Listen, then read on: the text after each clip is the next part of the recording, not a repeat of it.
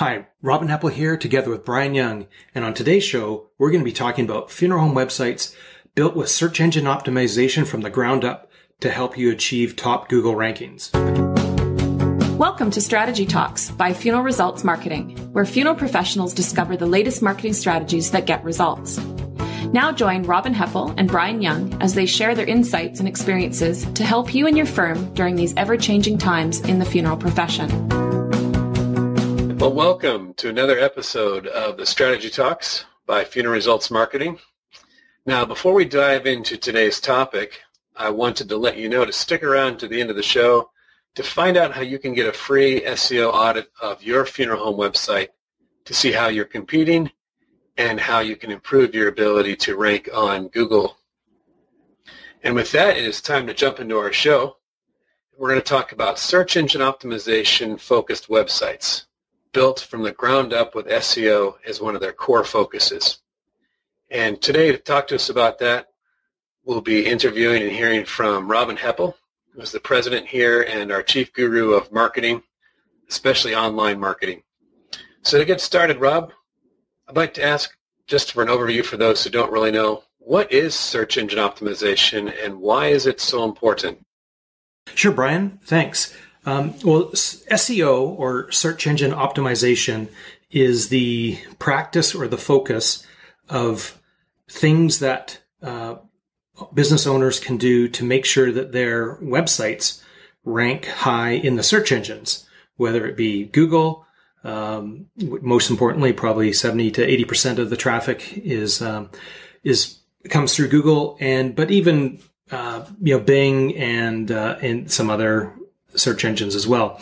But uh, generally speaking, if you focus on the best practices for Google, they're going to tra- they're going to transact over into the other search engines. Some of the factors are what we call on-site SEO, where these are adjustments that can be made to your website, and then the other set of factors are called off-site SEO. And the reason why this is important is that being at the top of Google in the search results is kind of like the equivalent of having the biggest and best yellow page ad 10 years ago. Now, the reason why this is important, especially um, having search engine optimization built from the ground up when a website's being developed, is that many sites are not SEO friendly out of the box, and uh, and they seem to be always trying to catch up uh, my philosophy and our philosophy is, well, if you're going to build a website, you want to make sure that you have all these factors in mind as you're building it. So they're just, it's just holistically baked in to your website. Now, it's broken into two parts. So there's on-site SEO, and these are factors that are pertaining to your website itself. And then there's off-site SEO, which are uh, external factors that that help the ranking of your website. Now, 25% of the factors are on-site SEO and 75% are off-site SEO. Now, the reason though that we want to focus on the, the 25%, the on-site SEO, it is the foundation. So without a solid foundation, your, the 75% isn't going to be as effective. So it's just like building a house either on a solid foundation or building it on sand. And so we're going to focus on the 25% on-site SEO that's going to give you that foundation to then continue to help your website rank higher in the search results. Okay. So what I hear you saying is that on-site SEO is actually, in essence, weighted more heavily than off-site SEO. So what is on-site SEO? What should we know about that? Well, the, again, these are the adjustments and optimizations that could be made on your website. Now, when uh, when people, if they were to do some research and just ask, you know, what's more important, on-site or off-site SEO, most of the results out there are going to say off-site SEO. But in the SEO community, it's just assumed that anyone building a website is going to have on-site SEO already built in. So generally speaking, it's a no-brainer. Unfortunately, in the funeral industry, uh, a lot of the companies that have more of a technology mindset, the web development companies, think of uh, SEO as an afterthought. uh, ourselves as a marketing company, we feel that ranking high in Google is a major marketing uh, goal that we want to have, and that's why we incorporate it from the from the ground up. Now, what we're going to go through are some key components of uh, of on-site SEO, and the first thing is the keywords. And uh, keywords for funeral homes purpose are broken into two groups. They're what we call the category keywords. Category keywords would be f- words like funeral, funeral homes, funeral services, and then cremation, cremation services, cremation costs. Those would be category keywords, basically the industry that we're in. And then there's the geographical keywords. And this, this would be, uh, location references such as city or town or other geographical references. And this, the combination of the two is what um, the SEO community calls local SEO. So it's not just being a national brand trying to rank for, you know, a pair of shoes or something that's uh, widely av- available uh, no matter where you are. When you're looking at a local business, whether it's a funeral home or a restaurant or an automotive garage, that falls into the local SEO category, which you need the combination of your category keywords and your geographical keywords. Then there's the overall site structure, meaning how the content is organized. And for most funeral home websites, this is pretty well a given. Uh, we have our general uh, website components. We're going to have uh, we're going to have this. There's going to be um, kind of an about section with uh, some history, some staffing.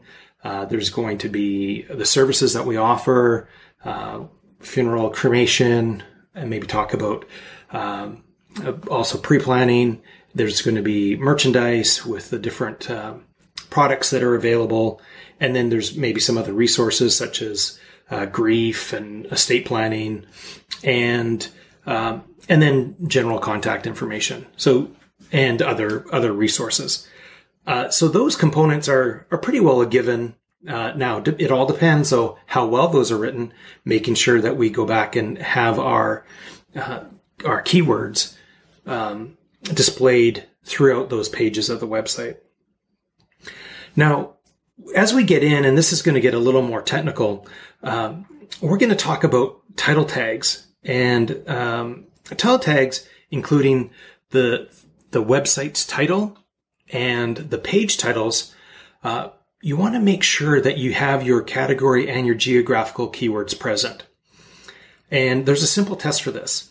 Uh, if you go to your uh, go into Google into your search bar and type in the word site S I T E followed by a colon and then without any spaces, uh, type in your domain name.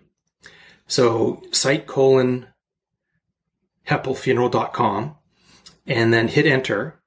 And this is going to show you a few things on this page. This is going to show at the very top how many pages Google has indexed for you. And we'll talk about why that's important in a moment. Uh, but then it's going to give you a listing of all of your, all of your pages that Google is aware of uh, starting most likely with your homepage and then probably obituary pages because it's going to show them kind of in ranking of how they they feel they're the most uh, the most important. But what it's going to show you is it's going to show you the page title, then it's going to show the uh, the URL, uh, meaning the the link to that to that page, and then a little snippet of and we call that the description of which is a basic overview of that page. What's most important here when we're doing that is the title of the page. So if you just see titles that say funeral services or pre-planning or contact us without anything else, then that's a very poor site structure. What you should see is funeral services and then some form of um, of break. Uh, we like to use uh, a straight vertical line called the pipe, which is uh, on most keyboards immediately above the enter key. If you um, there's the backslash, and then if you hold the shift key down, that's the pipe. So it would say funeral services, pipe, and then Heppel Funeral Home, and then maybe either comma Victoria, BC, or pipe Victoria, BC.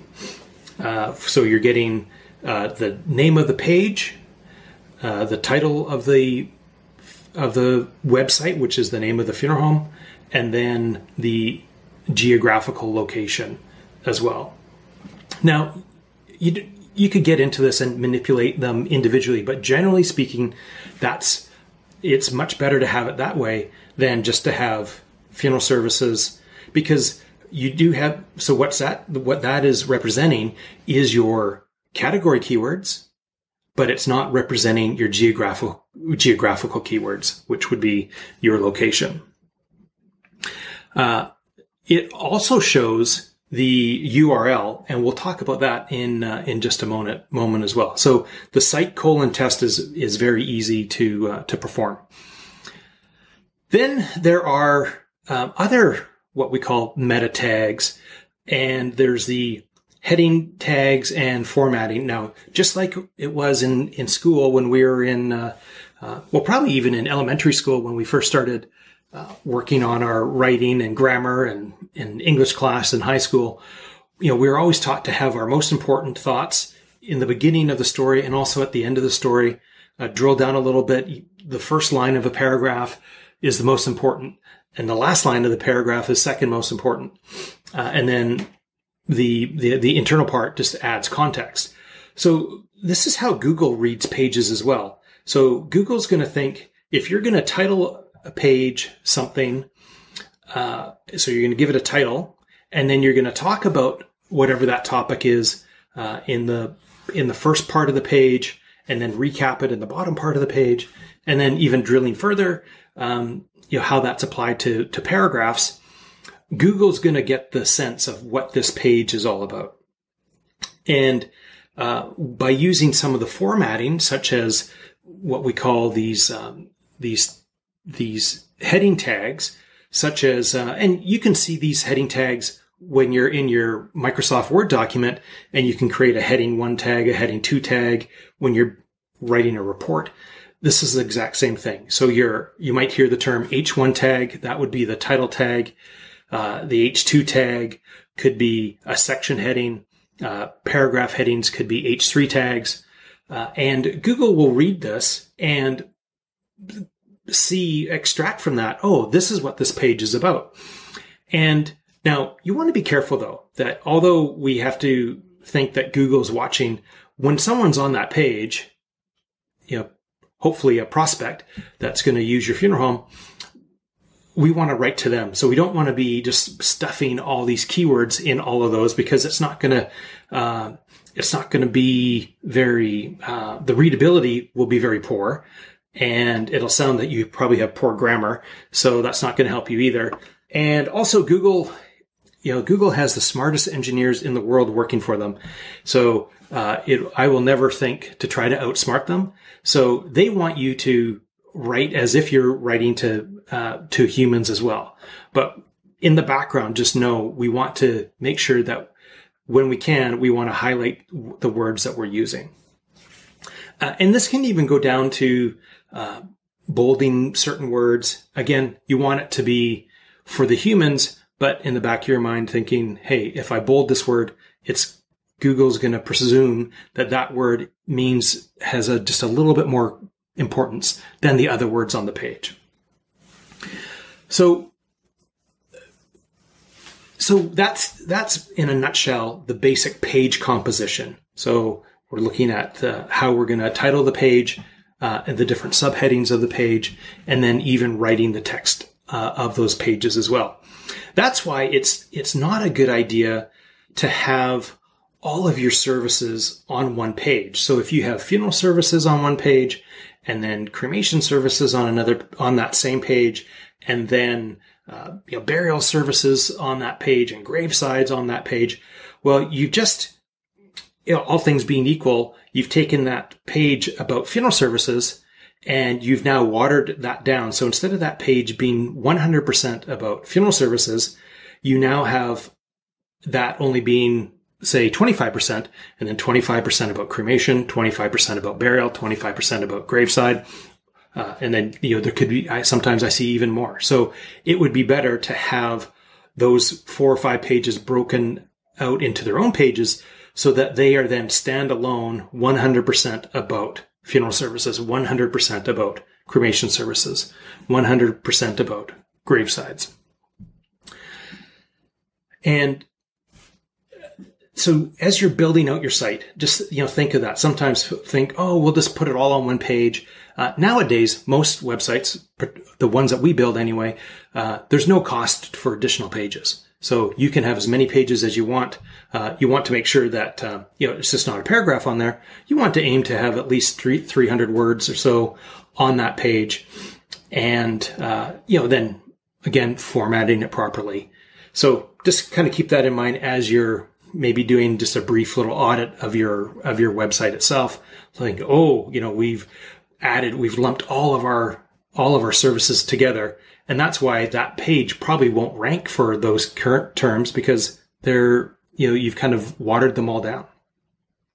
We find this too the same if you have a firm and maybe you have two or three locations uh, in maybe different towns or cities, and um, but they're all on one page. So if you have, um, so if we're thinking about um, uh, Washington State, you might have uh, a location in uh, Everett, Washington. You might, which is north of Seattle. You might have a location in Seattle, and you might have a, uh, location in Tacoma, which is south of Seattle.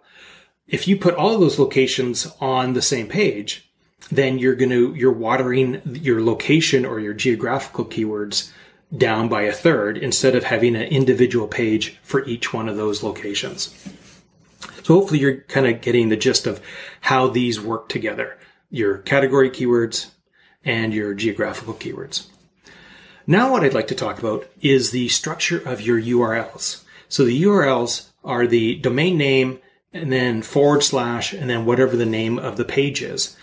Uh, when you do your site colon search, you'll see how the how those uh, URLs are formatted, and uh, hopefully they're in using the word. So heppelfuneral.com forward slash funeral dash services. That would be ideal, um, because if because Google's going to think, oh well, if they're going to use certain words as their URL, that must be important. What Google doesn't like is when it's a auto generated page with a bunch of weird characters and numbers that don't make any sense at all. So if you can, you want to have a system that actually uses words in the uh, in the URL. And when we have a few future episode about offsite SEO, uh, when we, and we're going to be talking, we talk about this term called anchor text, meaning if if there's a a word that's highlighted or linked to go back to your website, if it's a link to your funeral services page, your keywords are actually going to be in that URL. So that's going to even help just a little bit more for that page on your site to, to rank higher.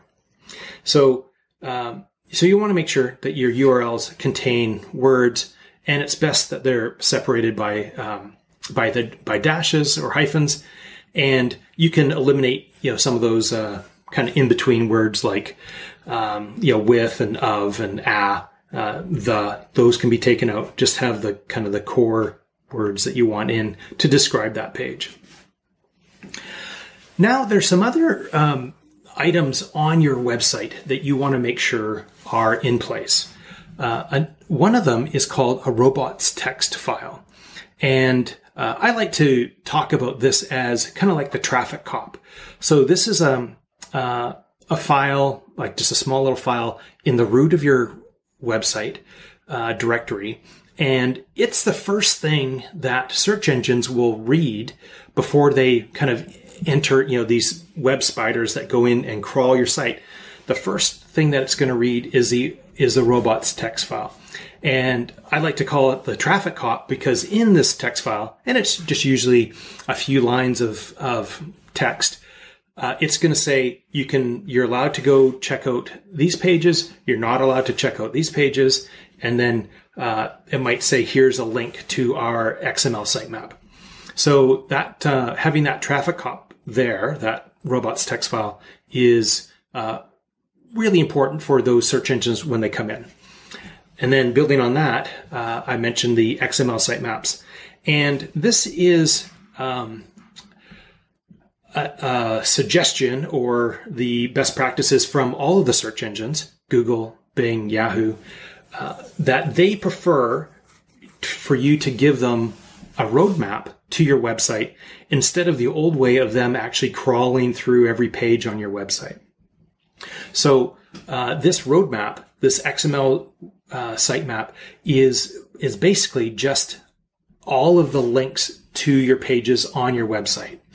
And then from there, they can crawl your website and they're not having to tr- crawl through graphics and navigation. It's just text and links. And, and, and this is kind of the new way of submitting your website to the search engines. So you want to submit that XML sitemap to uh, Google. They call it uh, Google Search Console now. They used to call it Webmaster Tools. Uh, you also want to submit that same XML sitemap to your um, to Bing uh, Webmaster Tools as well. And if you don't have um, if you don't have this, then it's going to really jeopardize your chance to ranking high, and also especially getting obituaries to rank because um, as soon as a new obituary is added to your site or a new page, but we're adding obituaries to our site more than anything else, um, and then that XML sitemap gets updated. And if that XML sitemap has been um, submitted to the Google Search Count console, they're going to get notified immediately of that new page. So we want we want those we want Google to know, hey, this is the originator of our content, not when some other company might be putting up an obituary in a couple of days. Uh, next, that I want to cover are some uh, other other SEO factors to keep in mind. Uh, one is the age of your domain, and this is obviously how old your domain name is. And uh, now, you know, we're getting into, you know, some funeral homes that have had websites for a couple of decades. And, you know, so these domain names are 20 years old. And to Google, th- those are really strong domain names. So I have to warn you here. Do not ditch your old domain name, uh, for a new one just because maybe it sounds better. So if heppelfuneral.com was a 12 year old domain name, that would be really strong. And, you know, for some reason, some of my buddies, you know, with their websites, they said, Hey, you know what? We changed our name and we think you should change your domain name to heppelcares.com. Now, sure, that might sound nice uh, to you and, and you might think it might sound nice to your clientele. And that, and if you've done that, that's fine. I'm just saying, do not ditch your old domain name for that. If you want to have that and you want to have that on your business cards, you can do that and then just have Heppel Cares redirect to heppelfuneral.com. Uh, there is also a slight advantage to having your keywords in your domain name. Now, uh, Google has kind of gone back and forth on, on this, but they're going to having the word funeral in there from Google's standpoint is going to help you more than having the word such as cares in there. And I would also recommend if you're you know, if this is something new, that you include the word funeral versus the initials FH. Again, don't, if you've already established it and you have a, you know, six year, 10 year, 15 year, 20 year domain name with FH in it, or maybe just your single domain name like heppel.com and you've built your, your brand on that, don't change it. Um, now there are times though that uh, maybe uh, as the as the business transitions maybe from one generation to another that you need to you've rebranded and you're going to change the domain name uh, to something else. And and this is fine and it's probably you know it's probably in the long run better to have a consistent brand than holding on to that old domain name. What you want what you want to do is you know pick that new domain name make sure that you take all of those, you know, all of your pages from your old site and, but do not, I repeat, do not delete that old domain name. Pay the 10 bucks a year and set up a number of what we would call um, 301 redirects. And what these will do is redirect. So if someone's going to heppelfuneral.com and um, and we for some reason maybe changed it to uh, heppelfamily.com then or maybe maybe I've merged with Brian so it's going to become heppelyoung.com we're not going to get rid of Heppel Funeral. We're going to all of those old links we're going to then create 301 redirects behind behind the scenes to direct them to the new one. But I've seen clients go through this. They've gone through a rebrand you know, they've had the domain name and then, you know, a year goes around and think, oh, we're not using that old domain name. And they just, they just let it go. And immediately the, they will drop from first position to like fourth or fifth or 10th or even off the first page. So it's really important to preserve that, um, uh, those authoritative domains. Now, you know, maybe in 15, 20 years, you can finally get rid of that other one, but you know, for 10 years anyway, or even for 20, for the $200 uh, for reserving that for, at $10 a year for 20 years, it's worth it to keep that in place, directing to the new domain. Uh, we're going to have a complete episode on how we've done this uh, in the future. So if you're, you know, if you're to that point, we're going to be transferring uh, from one uh, maybe from one business to another or one generation to another, you're going to change the name, you're going to want to follow these steps because too often I see people do it. And the problem is lots of these marketing companies out there that are all about your brand and have a new message for you. That's great. They don't know how, oh, changing a, a domain name, how that's going to affect your search engine rankings because that's not their area of expertise. And that's why you're listening to us here because we'll give you that information. Uh, and then also, I want to touch on the number of index pages on your website. So, uh, back to your site uh, colon search, you're going to see a number at the very top of the search results saying, you know, there's going to be 500 pages indexed by Google, or you know, hopefully in the thousands, because every time you add an obituary to your website, it's going to be one more page indexed by the search engines. So uh, this is really important.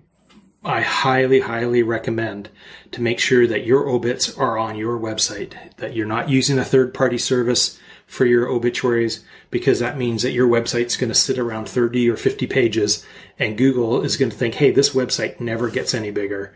It mustn't be as authoritative as this other site that's a competing site for the same geographical and category keywords. Uh, because they continue to grow, you know, three or four new pages a, a week.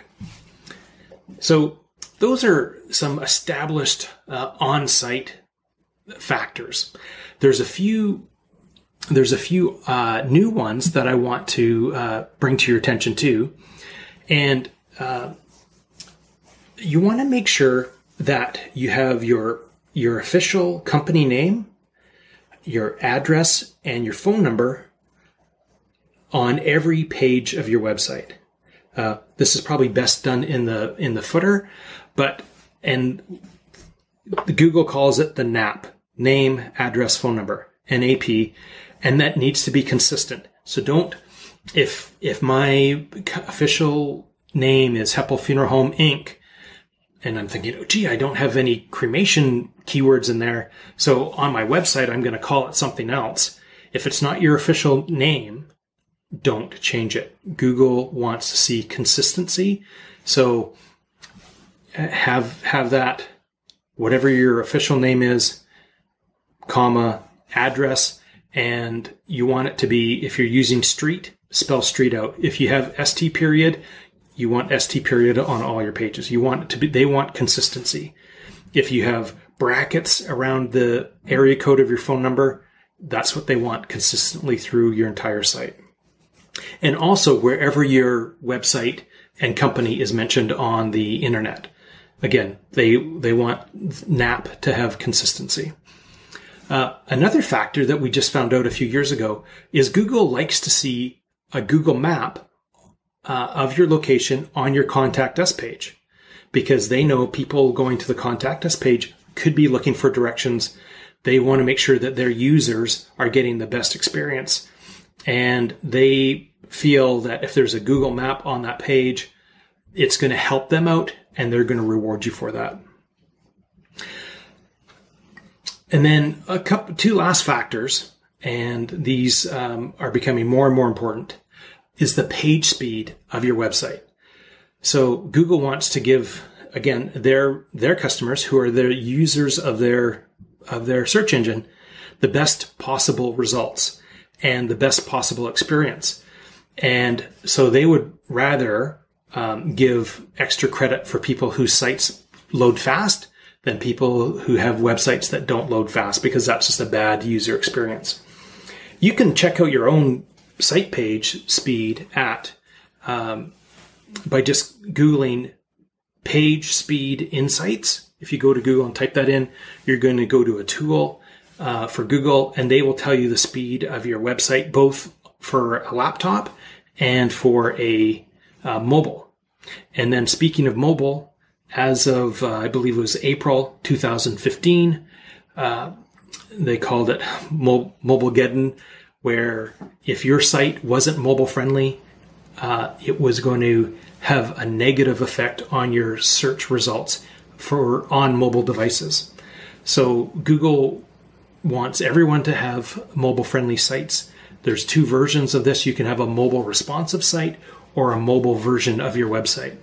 Google prefers it to be mobile responsive, meaning that you have one website, not two different versions, but you have one website and it's responsive to the width of the device. So if it is on a desktop or a laptop, it's going to maybe have four columns on it. If someone's looking at it on an iPad, it's going to have maybe um, uh, two columns by two columns, and then maybe on a phone, uh, all those columns are going to be stacked one on top of each other. So it conforms to the width of the device. And uh, you've probably been able just to see this yourself by um, bringing up your own website on your mobile phone. So that, and this is a pretty big nutshell, but those are the key on-site factors. Now there are other on-site factors, but if you get these dialed in, you're going to be doing better than 75% of your competitors out there. So, uh, Brian, that's oh, that was a bit um, bit of a long tangent there, but I just wanted to get make sure that we covered all of those points.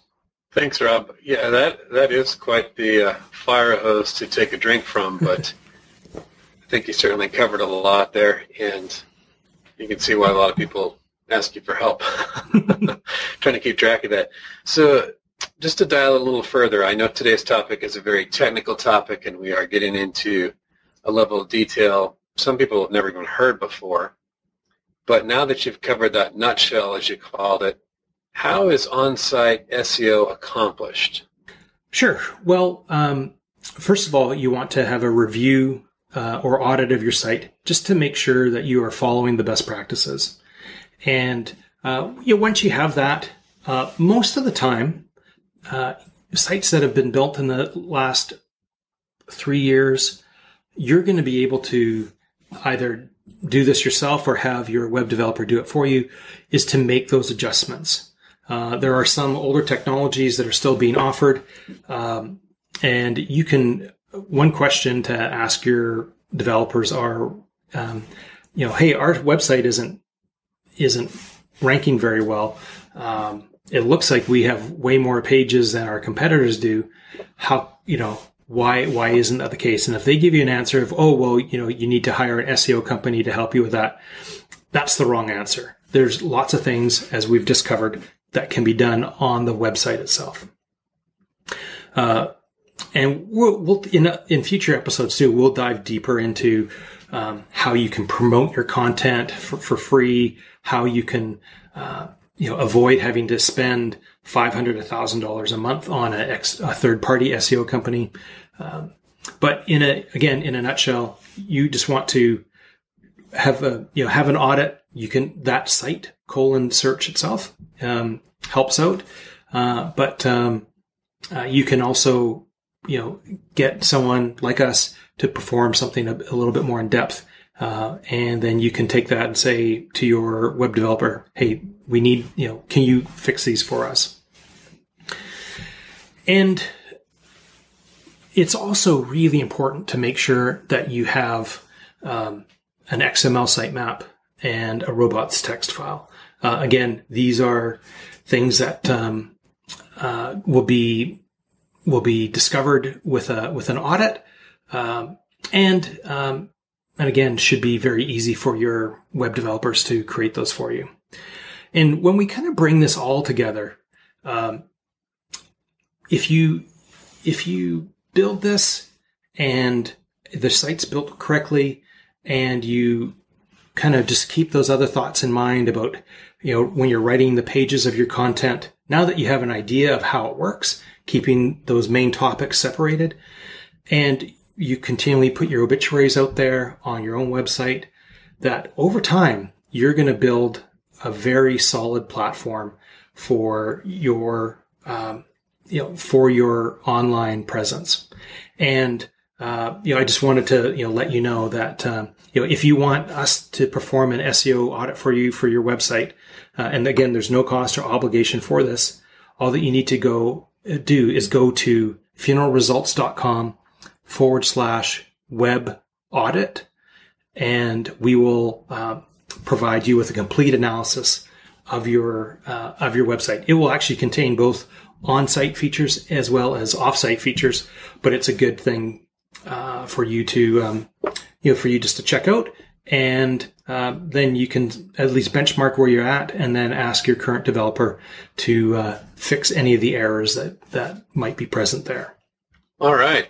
Well, that is a lot of material, a lot of useful material, and uh, we do want to make sure that you take time to claim that SEO audit and just see how you're doing online. So I just echo Rob's comments there. Great, Brian. Now, well, you know, one thing that we want to talk about is uh, what's uh, what's been happening at Funeral Results Marketing. This is the new marketing brand that has come out of uh, the Funeral Futurist Consultancy. I'm really happy to have Brian uh, working with me. And uh, Brian, maybe if you want to share what uh, you know what we've been working on over the last couple weeks. Sure. Thanks, Rob. Yeah. Regarding the website, we're pretty excited regarding the content that we've put on that.